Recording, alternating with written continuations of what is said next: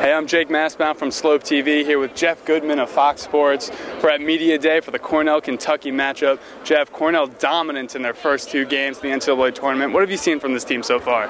Well, obviously, these guys have experience now. I think they go out there knowing they can win. They had two good matchups uh, against Temple and Wisconsin that I think were favorable for them. Uh, this one, I think, going to be a little bit tougher. You know, just with the athleticism, with every, you know, Wisconsin and Temple kind of fit the way they played pretty well. They weren't overwhelmed athletically against either one of those teams. Yeah, absolutely. And you've been covering this Cornell team all year. I saw you in Cambridge for the Cornell Harvard matchup.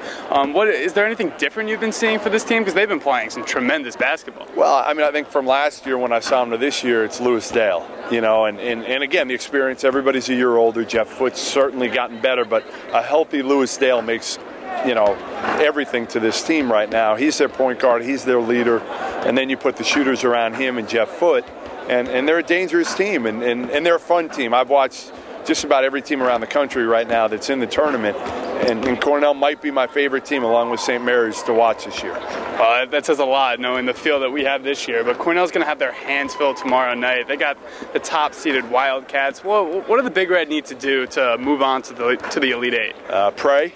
Pray that they can get back in transition and pray that they make shots so that Kentucky can't go as quickly. I mean, John Wall is going to attack. He's fast. Eric Bledsoe's fast. You know, I, I think obviously Jeff Foote has to stay out of foul trouble. Uh, it's going to be difficult with him because he's going to have DeMarcus Cousins coming after him, Daniel Orton off the bench. There, there have got to be a lot of things that go perfectly for this Cornell team to end up beating Kentucky. I, I just don't see it, to be honest. That's fair, and but there are some people that you know, had picked Cornell yep, in this matchup. Yep. Uh, Anything can happen. Exactly. Hey, Jake, you know, stranger things have happened. Look, Northern Iowa just beat Kansas. Uh, that's so exactly my point. Maybe an all mid-major Final Four. Oh, it'd be terrific. I mean, I think I think a lot of people would love to see that. And, and this, to me, if Cornell beat Kentucky, it would be a whole lot bigger than Northern Iowa beating Kansas. And what? Why is that?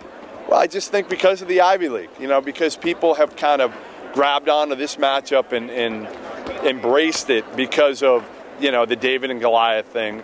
Northern Iowa, people, the, the buildup wasn't there for that game like it is for this game with Cornell and Kentucky.